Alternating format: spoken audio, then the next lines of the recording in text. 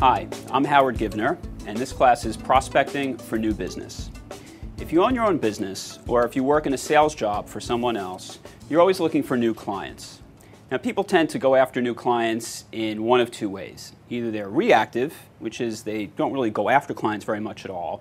They wait and see what comes in off the phone, off the website, by email, etc. Or you're proactive, and if you're proactive, you're, you're taking a more aggressive and focused approach to getting clients. Best analogy for these two types of uh, people is a gardening analogy. I happen to be very into gardening these days, and there are people on my block who have a backyard that they really pay no attention to. Uh, things grow there. Uh, they're not necessarily things that they plant. They don't necessarily know what you know height these things are going to grow to or how rich they're going to be. Uh, they just sort of take what comes and whatever survives based on the rain, the sun, etc., that's what they get.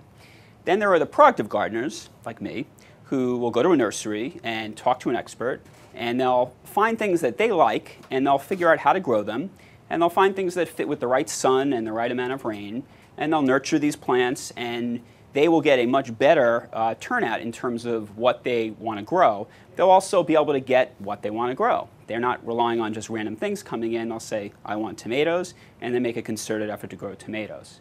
And that's really what this, what this class is going to focus on, is going to focus on people who want to be more proactive about their approach for getting new business. It's not a class just about cold calling, although we will touch on that.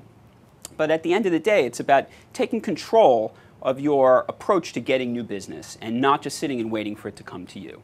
Some of the things that we'll cover in this class are the importance of timing, and we'll get into what I call the timing paradox. We'll also talk about pipeline management. We'll get into what many people call the elevator pitch, and we'll learn the key things that you need to tell any potential client, or a prospect for that matter. And I'll also talk about what things most people leave out of an elevator pitch to make it effective. We'll spend a little time talking about what I call the ask, which is being forward and asking for referrals for business, and we'll give you some strategies on how to do that. We'll talk about a number of different sources for new leads that's specific to the event industry. We'll also talk about how most people get very few leads from friends and family, and I'll give you suggestions on how to fix that.